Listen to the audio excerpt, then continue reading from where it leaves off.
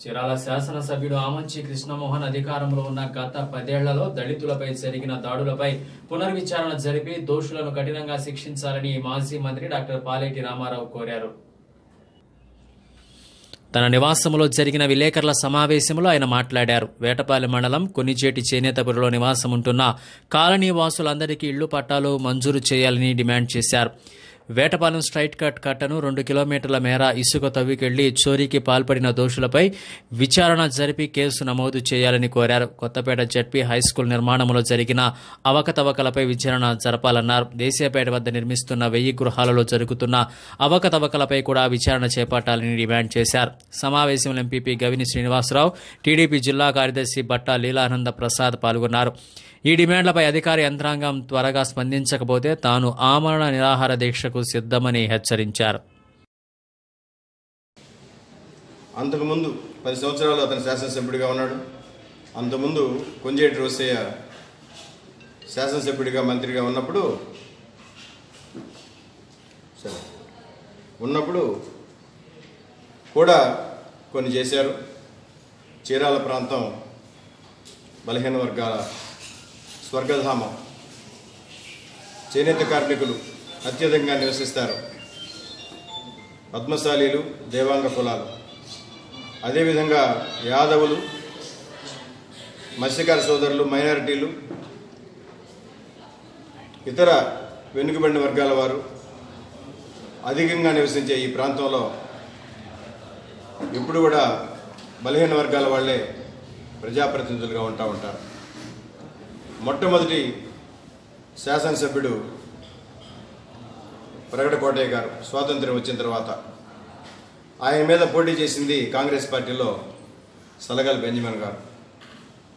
మీరు అర్థం చేసుకోవచ్చు సలగల్ బెంజమిన్ గారు దళిత నాయకుడు కోటయ్య గారు చేనేత నాయకుడు.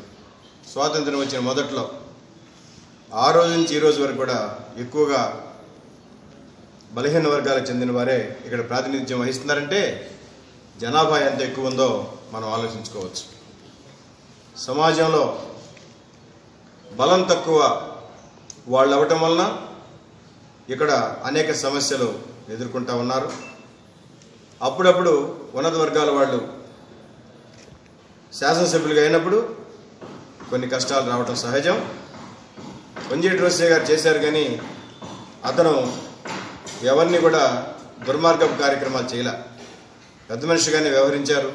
రాజకీయం వరకే పరిమితమయ్యారు తప్ప తప్పులు చేశాడని నేను అనుకోవట్లా.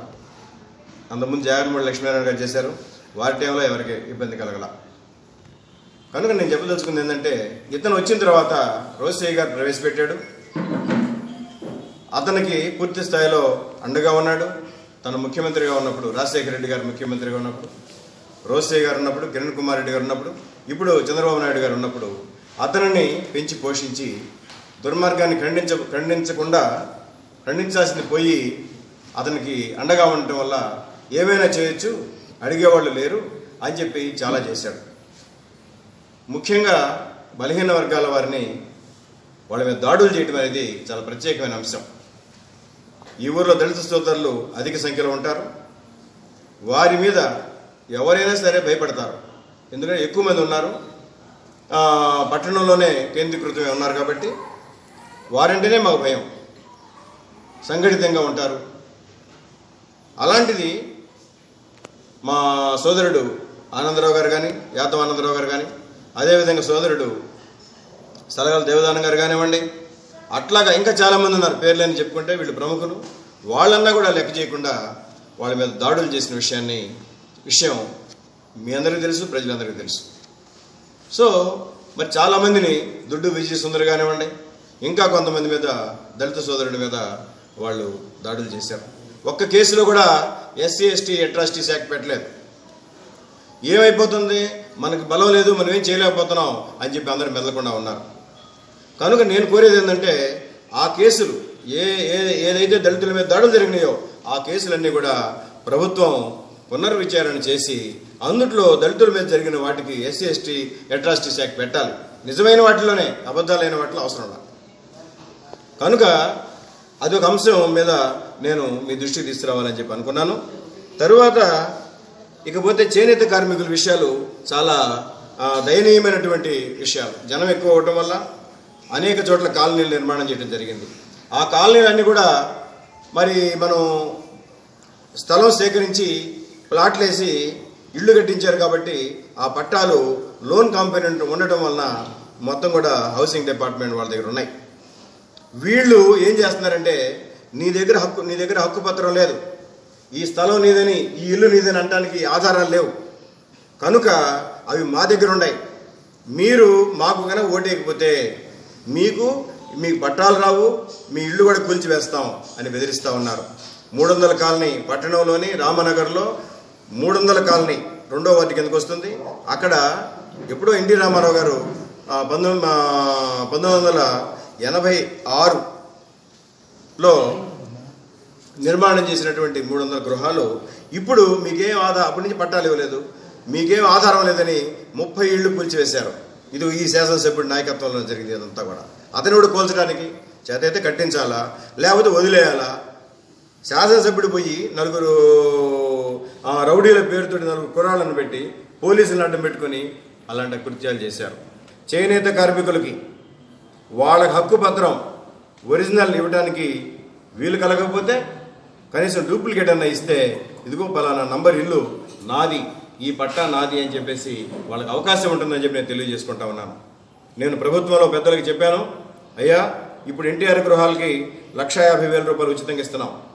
అలాంటిది ఎప్పుడో అరవై డెబ్బై వేలతో కట్టినటువంటి పాత ఇళ్ళు పాత స్కీమ్స్ ఇందిరమ్మ ఇళ్ళు అట్లాంటి స్కీమ్లో లోన్ కాంపోనెంట్ ఉంది ఎంత? ముప్పై వేల ముప్పై ఐదు వేల ఉంది. దయచేసి అన్ని మీరు రద్దు చేస్తున్నారు. వీటిని కూడా రద్దు చేయడానికి పరిశీలించండి అని చెప్పేసి నేను ప్రభుత్వ పెద్దల దృష్టికి తీసుకెళ్ళి ముఖ్యమంత్రి గారి దృష్టికి తీసుకెళ్ళలేదు వ్యక్తిగతంగా. అధికారుల దృష్టికి నేను తీసుకెళ్ళాను వాళ్ళు పరిశీలిస్తాము. మంచి ఆలోచన అని చెప్పి చెప్పారు.